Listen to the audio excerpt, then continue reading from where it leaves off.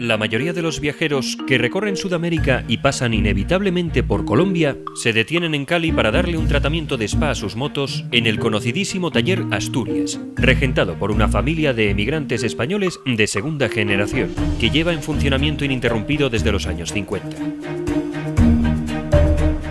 La historia de esta familia, dedicada al 100% a las motos, es del todo fascinante, y en la expedición mutua madrileña Ruta Mainumbi tenía que conocerla de primera mano. La que tenéis montado aquí. Porque yo recuerdo durante la Vuelta al Mundo que también fui a parar al taller Asturias para hacerle una revisión muy parecida a la que ha sufrido ahora la, la CEFA. Lleváis desde el 59.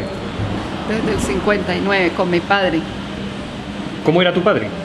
Bueno, mi padre era un aficionado por las motos que llegó en la época como de recesión española acá, se lo trajo un tío y le empezaron a gustar las motos y se casó con mi madre, montaron ese taller y pues desde esa época toda la familia hemos sido muy apasionados por las motos, primero con las motos de carreras y ahora, bueno, desde esa época con los motoviajeros, siempre había un motoviajero que llegaba en esa época con Lambreta, con Vespa, ahora ya llegan en cantidad de motos distintas y con las nuevas tecnologías.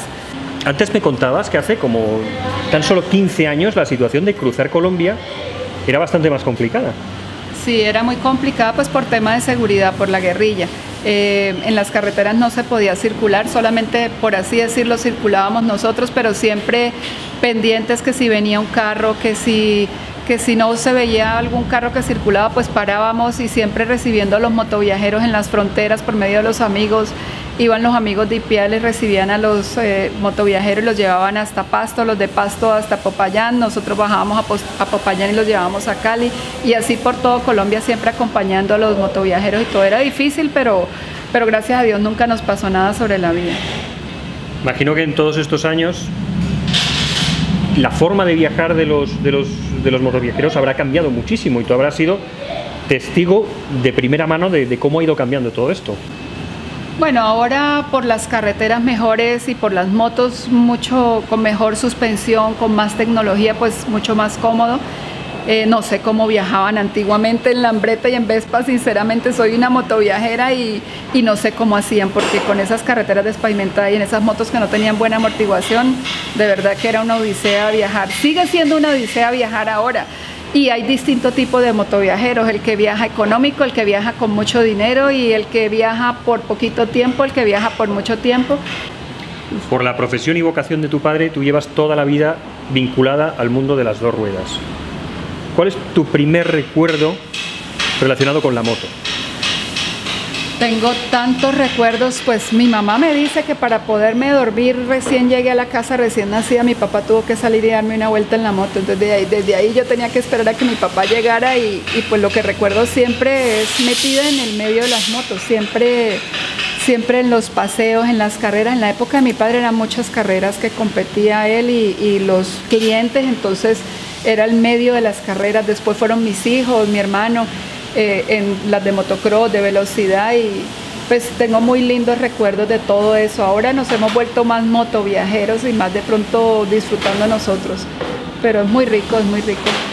Muchas personas me han preguntado, personas que no montan en moto, que por qué hago viajes en moto. ¿Por qué los haces tú? A mí me apasiona la fotografía. Disfruto mucho tomar fotos, tomar, me gustan mucho las fotos de carretera que no lo puedes hacer desde un carro. Lo rico es la, eh, la, compañía con los demás motociclistas. Siempre viajamos, me gusta el grupo grande, siempre soy como líder, como mamá de todos, como, como que me gusta estar todos juntos, compartir con la gente, con mis amigos. Tengo muchos amigos en Sudamérica y cuando yo viajo todo el mundo quiere salir a atenderme porque cuando ellos vienen acá yo los super atiendo también igual.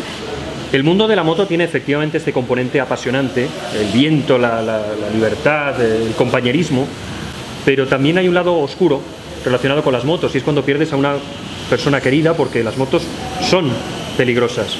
Yo creo que tú tienes experiencias al, al respecto. Pues sí, tengo dos desafortunadas experiencias con mi padre cuando tenía 39 años. Eh, salió a un paseo a la carretera del mar con su grupo de amigos. La carretera se la conocía perfectamente. Desafortunadamente no supieron qué pasó. En una curva salió y tuvo un golpe muy duro en la cabeza. En esa época no habían cascos buenos aquí en Colombia. Era un casco era fabricado en Colombia, no nada bueno, entonces eso produjo problemas en su cerebro y duró 13 días en coma y falleció desafortunadamente. Luego mi hermano, casualmente a los 39 años que tenía también, eh, huyó de Colombia pronto por la violencia, buscando algo mejor, un futuro mejor en Estados Unidos. Allá tenía su empresa igual que la nuestra acá, con su taller y su almacén. Eh, llevaba cuatro años allá trabajando y un día salió a probar una moto y en un semáforo dos carros se estrellaron y uno tumbó una señal de, tránsito, le dio en el cuello y, y falleció.